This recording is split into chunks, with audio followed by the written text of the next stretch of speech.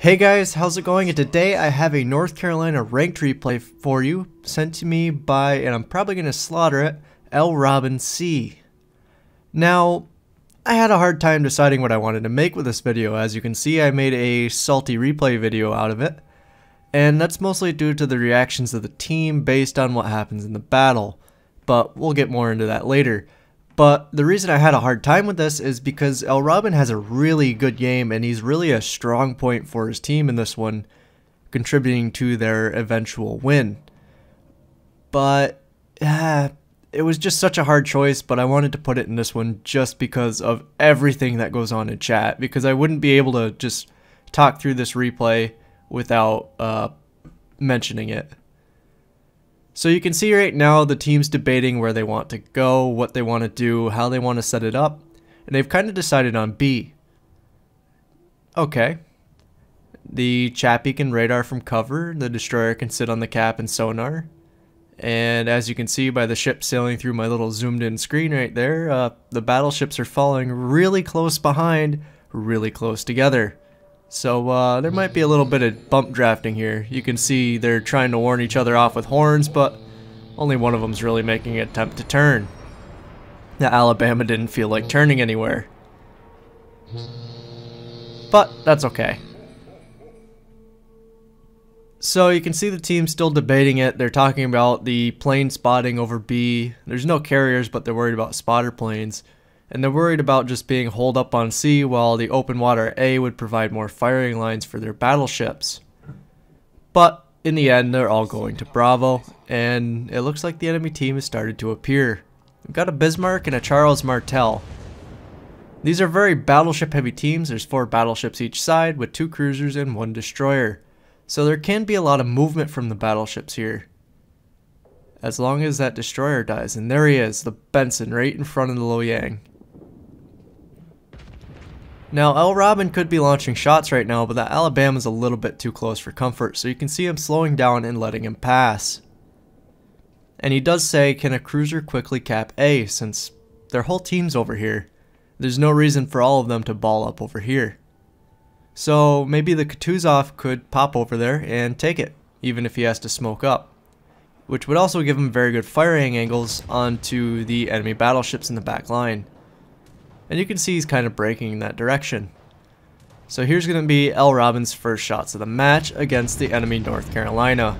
And yet, there's still that little shift to enter view bullshit glitch still going on with the replays. I, I can't wait till that get, gets fixed, or at least uh, doesn't happen anymore with the replays. It's quite annoying to work with. But you can see the enemy team has actually reacted to A not being pushed on and a lot of their battleships have actually flexed over there. There's two Bismarcks heading that way, while the enemy team is actually capping Bravo because the Lo Yang has decided to leave it. Interesting choice. Especially since he wasn't really going to get fired on if he pressed himself up against the island. Ooh, I would have expected more out of that shot on the Bismarck. Enemy Benson has popped out in the open in front of all the battleships here. You can see the secondaries going off. The main shells aren't doing a lot though. And it looks like he's probably going to get away. But Bravo's gone. A's being capped by the enemy.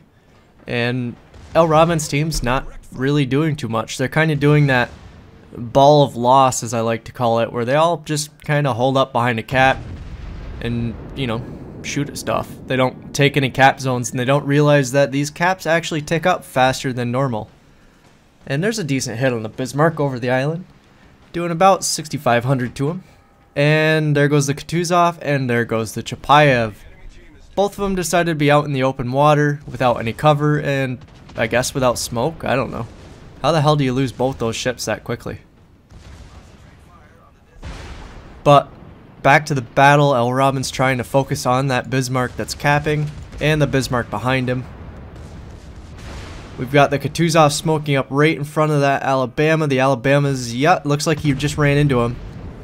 And L. Robin makes the choice to shoot at the Alabama because he's actually the target that's not going to be moving too fast.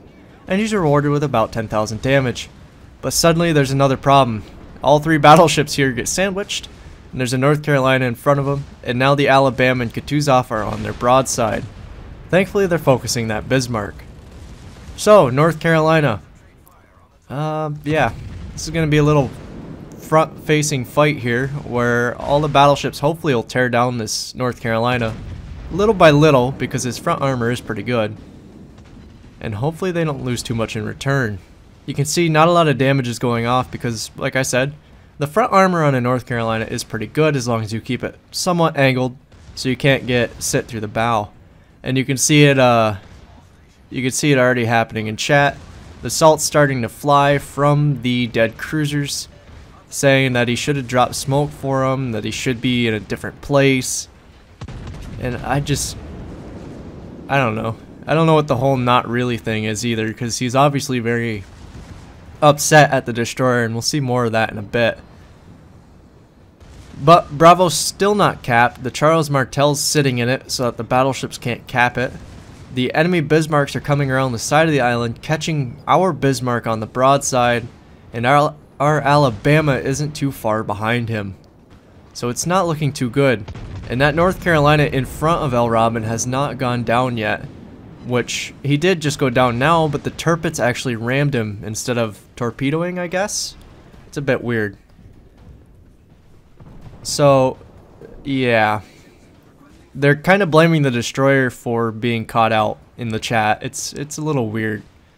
But you can see the Bismarck has escaped. He's got very low health. And the Alabama is actually getting pounded by the Kutuzov right now. So it's not a great situation right now. They're kind of cornered over here. And they don't have a ton of support. And they also don't have a cap, so they don't have much time to work with. There's a shot on the Bismarck. Eh, 10,000 damage is not bad for the angle he was showing. And he did take a torpedo, so hopefully nothing catches him on fire, or hopefully he does not get hit by another torpedo. Bismarck's coming straight around the corner, takes a big hit from our friendly Bismarck, and the Charles Martel is really close behind him. And that Charles Martel does have torpedoes, and they are pretty good. I don't. I think they're three per side, maybe four. We gotta get rid of them and... All, alrighty then. One sit, four pens will take out the enemy uh, Charles Martel. But the Kutuzov has killed the Bismarck. El Robin is broadside to the enemy Alabama and just took a big hit from him. And he's trying to duck behind this island. The friendly Alabama is duking out with the enemy Alabama. The Benson just appeared behind El Robin. And the Kutuzov is way over, pestering the Loyang. And there's a good hit on the enemy Alabama. Come on, I hope our Alabama can at least tick him down a bit more before he eventually succumbs to all those fires. Doesn't look like he's going to though. He took a couple decent hits there. And yeah, he's not going to be living too much longer. So, two ships versus three. They're down 300 points. They have no caps. They're well, L. Robin's capping right now, but it's not looking too good. Uh, the enemy Alabama's not on a huge amount of health. Killing that Kutuzov right now would be a very, very pivotal moment. Because if we got him out of the way, it'd be a lot of pressure off the Lo Yang. One sit. I'm not sure if that was entirely for over penetrations. I think one of those was actually a full pen. Uh, sometimes that UI decides to lie. But El Robin has killed the Kutuzov and taken the cap. And it doesn't look like, yep, there goes the Alabama. Not long for this world.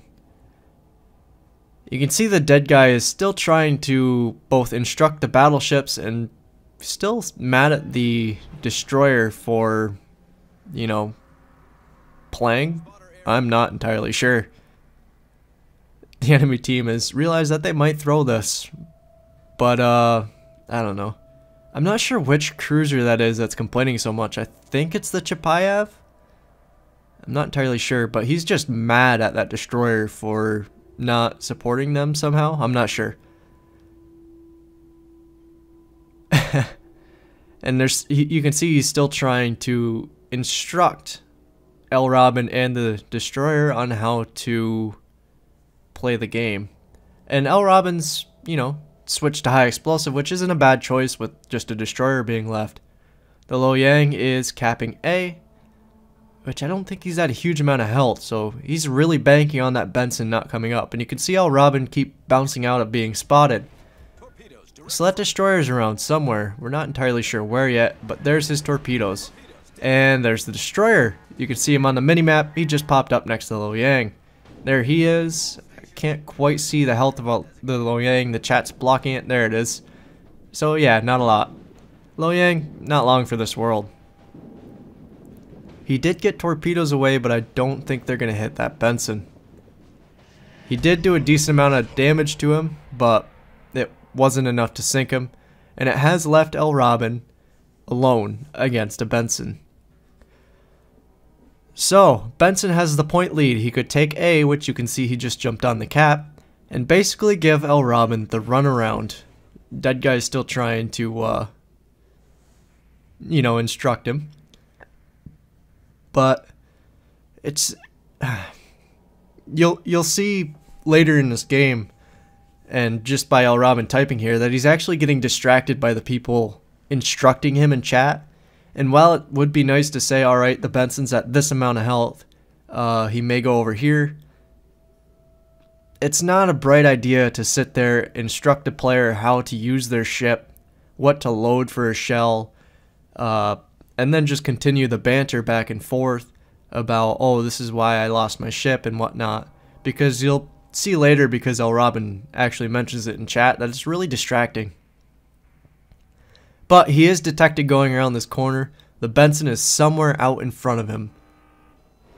But he did just take A. So. Torpedoes, dead ahead. there's the torpedoes. There's one spread. Where's the other spread? That's tricky. He only launched one. But he is spotted. The Benson has neutralized the point gain for now, but El Robin's going to hop in the cap and hopefully start to earn those back. And there's the other torp spread. Sadly, that was the wrong turn for El Robin, and he took one.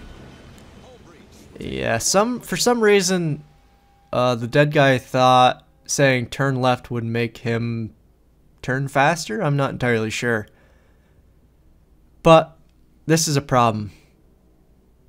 El Robin does not have repair. The Benson has a decently long torpedo cooldown, but it's... I think it's shorter than that repair time, so we could set a flooding on him. Wow, and here comes the stat callouts from the Benson, or not the Benson, from the Lo Yang to the dead player that's been trying to instruct people. I'll I'll just let you guys watch because this is just a big my stats are better than yours. Why'd you do this fight in chat? And it's kind of entertaining. But this is where you start seeing El Robin being distracted by the chat. And it's the main reason why I posted this. And I don't know. Didn't blame you, but your positioning was shit. Uh, I'm pretty sure he was blaming him for the first half of the game and was still calling him a shitter towards the end of the game, or at least the end of his uh, lifespan in this game. Yeah, they're still trying to drive out Robin's ship for him, telling him to keep his speed up, while they're continuing to call each other shitters and clowns and all that sort of thing. Very interesting. Sometimes you wonder if they think there's a steering wheel for other people's ships on their keyboard. But El Robin guessed where that Benson was going correctly, turned away from the torpedoes, and now his repair is back off cooldown. So if he does take a torpedo, he can put out the flooding. Of course, he doesn't have a lot of health to work with anymore, and he can't really repair torpedo damage. So he's going to have to be careful about taking too many. But that Benson will have to make a move for Bravo soon, or kill El Robin. You can... Oh, there he is! He just got spotted coming around the side of the island while he made a break for Bravo. El Robin's guns are loaded. He's got to swing them that way. He's got to hope the torpedoes aren't coming. And the Benson's gone. Figures just as his guns turned. And yeah, still going on in chat, talking about how they would there would have been multiple planes. I would was going to spot whatever. I refuse to acknowledge. You're wrong. Blah blah blah blah. And you can see El Robin telling them to shut the hell up because it's distracting. Which kind of goes both ways. You're distracted because you're typing in chat, and you're distracted by chat. Which one of those is their fault. One of them, I guess you could fix. But it's mainly because of them. But this Benson is out of smoke, and you can see one of the salty guys telling him not to read chat. Chat's a big source of information usually. But he, the thing is, he did get spotted, and you can see he kind of knows that. So that means the Benson did pop out of that smoke cloud. He is still in Bravo because he's capping. And now we're going to find out when he leaves, if he does. Because now they're both sitting on his cap. Somewhere in the smoke ahead of him is that Benson. So it's going to come down to this. Which ship can kill the other? And nope, he was not behind the smoke, he was behind the island. El Robin leads him, fires, and 3,000 damage. Took out one torpedo launcher though. But it wasn't before the Benson got them off. And you can see the chat already reacting like they lost. There's one torpedo hit, there's two torpedo hits. He pops both repairs, the Benson starts firing his guns, but the rear gun has taken out the Benson, and El Robin has won the game with a little bit of tricky sailing and some good aiming. So good job to El Robin carrying his team there and surviving, I guess, the shitfest that was chat. Like I said, really hard to decide what I wanted to put this in, but in the end of the day, I wanted to put it in salty because just that whole chat conversation was terrible. It was really distracting to the guys trying to live through the game and push for a victory like you saw El Robin do. And since it was harping on that Benson, or not the Benson, the Lo Yang, it technically is a Benson, it was probably really distracting to him as he went through to try to play his ship and, uh, I guess maneuver? I'm not entirely sure. I'm not sure what he would have done with that Benson bearing down on him. Either way, if you're going to say stuff in chat, guys, save it till you know the game's definitely lost or at least keep it constructive. I mean, I'm I can't really say too much. I do it all the time where I'm I blame people for my death. But at the same time, it's easier to support the teammates that you aren't blaming and say, all right, this ship's at this amount of health, they're at this position. Uh, you could do this. Don't try to, don't take it too far as to be instructing the enemy team or the friendly team on how to play their ships, but you can give them hints. You can say, hey, try this. The enemy ship's over here. He could possibly come around here. That sort of thing. Either way, good job to Robin for carrying this game. Hopefully that star helped you get towards rank 1, or at least towards whatever your goal was. And I guess good luck. See you guys out there, have fun, and uh, see you next time.